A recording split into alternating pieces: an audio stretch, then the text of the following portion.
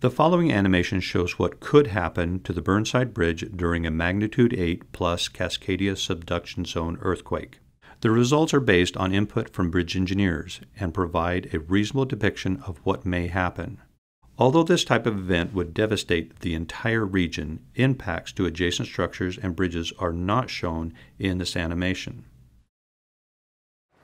Constructed in 1926, the Burnside Bridge connects the east and west sides along one of the longest and busiest streets in Portland, Oregon.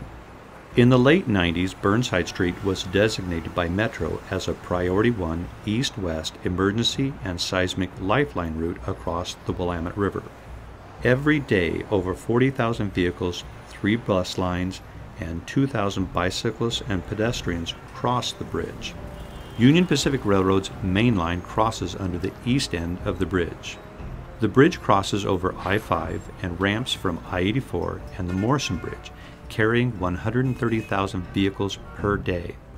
The bridge opens about 300 times a year for river traffic.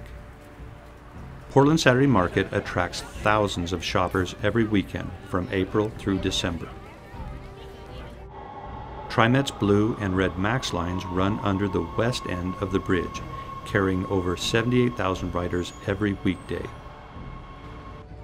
Thousands of bicyclists and pedestrians use Tom McCall Waterfront Park and the East Bank Esplanade under the bridge each day. Any day without warning, the Cascadia earthquake could strike and forcefully shake the region for several minutes. Under the west end of the bridge, concrete columns containing very little steel reinforcement will fail early.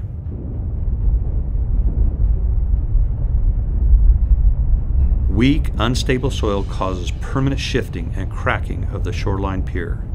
The pier sinks and rotates, causing the truss to collapse. Fixed spans become unseated, creating a barrier to river traffic. Weak soils and inadequate foundations cause settlement and damage to the river piers. The earthquake breaks the locks that connect the spans together allowing the draw spans to lift and shake independently. The internal support holding the draw span fractures and the span drops into the pier. The draw span truss members break and fall into the river, blocking ship passage. Columns are torn apart and collapse sideways. Soils under the east approach liquefy after shaking, accelerating the collapse of support columns. The bridge collapses onto Naito Parkway, TriMet Max, and Tom McCall Waterfront Park. Bridge debris obstructs all modes of transportation, blocking over $1 billion in transportation infrastructure that relies on the bridge. The collapsed bridge blocks the main river channel, creating an obstacle for river traffic that needs to deliver goods or people after the earthquake. The collapsed bridge also obstructs the East Bank Esplanade, I 5, I 84, and the Union Pacific Railroad mainline tracks. With other bridges out of service, Portland is now divided by the Willamette River, leaving tens of thousands stranded. Emergency responders are unable to cross the river to aid victims. The Burnside Lifeline route is broken.